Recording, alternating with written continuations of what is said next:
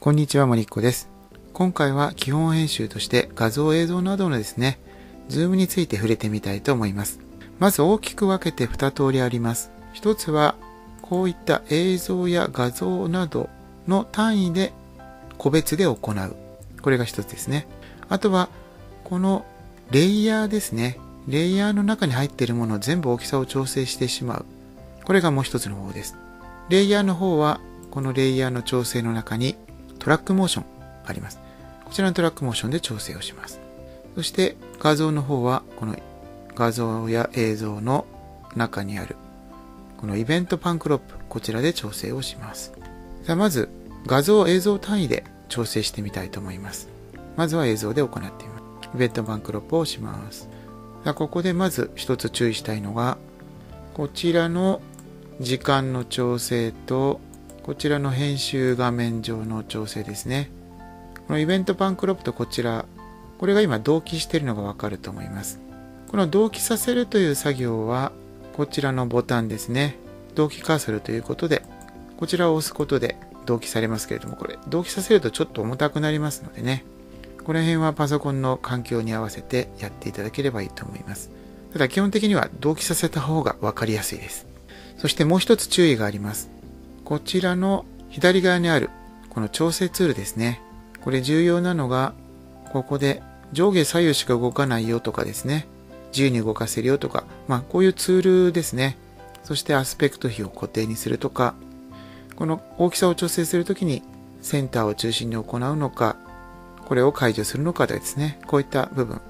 こういった部分、できるだけデフォルトの状態で使ってください。そしてもう一つは、このキーフレームというですね、この変化を記憶させるポイントなんですけれどもこの時間の長さというのは基本的にこの今置いている動画の長さが基準になっています。対して一旦これ消しますけれどもこちらのレイヤーで行う場合はですね今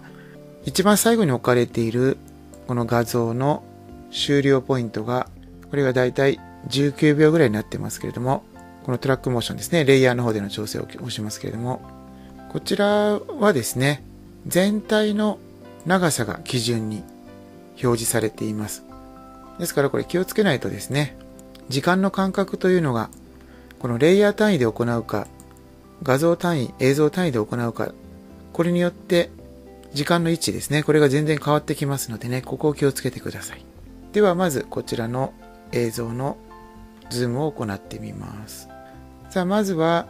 最初にもうキーフレームというのがこれあります。これは元の100%の状態ですね。このキーフレームをズームを始めたい位置に持ってきます。この位置以前はこの100%がずっとキープされています。そして変化の終了ポイントまで持っていきます。数秒後ですね。そしてこのカーソルを合わせたところで今度はマウスをこの映像のですね、角に持っていくと、この大きさが調整されるようにカーソルが変わりますので、ここでクリックをして、ズームの場合は内側に、こういった形で寄っていきます。これ位置も好きに変えられますのでね。では、変えたところで、この下のタイムラインのスライダーを動かします。わかりますが、ズームがこういうようにかかっていますね。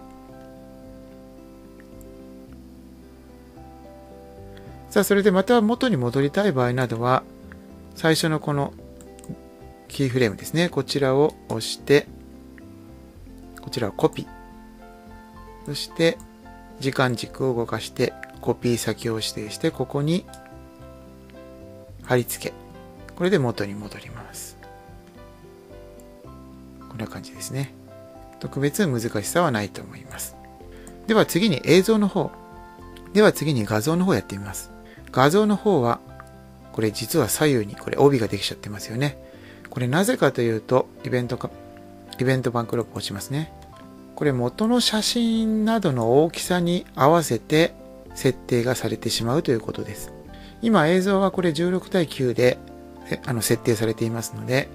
写真のこのプリセットという部分の大きさ、こちらをまず16対9に合わせます。そうすると写真の上下の部分が削られて16対9に合わさりました。で、今、私今これ画像の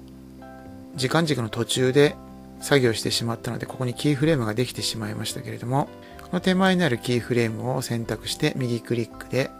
まず削除して、これでこのキーフレームのポイントが基準になりました。さあ、ここでまたズームをかけたい部分、時間を合わせて、先ほどと同じ要領で、こんな形でコップに寄っていきます。そして次にですね、好きな部分にカーソルを持っていって、最初のポイントをコピー。そして新しい部分に貼り付け。こうするとズームをしてまた戻るみたいな。こんなことができます。ズームをしたままでよろしければ先ほどのこのポイントは削除しましょう。そして応用としてはですね、例えば、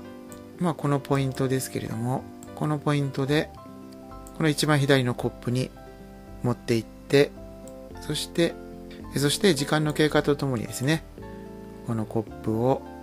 こう横に追っていくみたいな、まあ、こういった演出もできます。これよくですね、スライドショーなどで集合写真を一人一人こう追っていくようなですね、そんな演出などにも使っていただければと思います。さあ、これでウィンドウを閉じます。さあ、今度はレイヤー単位で行うとどうなるかというと、レイヤー単位の場合はですね、ざっくりとこれ大きさを変えてしまいますけれども、こんな形で、例えば、この映像単位でズームをかけたものをですね、小さく特定の位置に配置をしたい。こういう時に、このレイヤーで調整をしていきます。こんな感じですね。ですから、レイヤーの方では、ズームというよりも配置というふうに考えた方がいいと思います。これ先ほどの前の映像の方にカーソルを動かすと、前の映像の方もですね、このように大きさがちっちゃくなっちゃってますよね。このように大きさが変わってますけれども、この大きさが変わるというのは、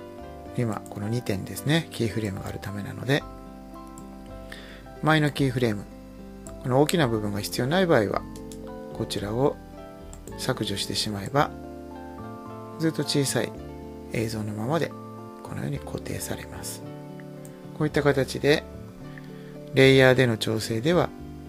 この画面上での配置、そして、ズームの方は個々の映像や画像の方で、ちらパンクロップで調整をする。そんな形で両方を使い分けていただけるといいと思います。気をつける部分としては、先ほどもお見せしたように、それぞれの時間軸でのこのキーフレームの位置ですね。この位置というのは非常に重要になりますので、ここの部分と、この同期しているか、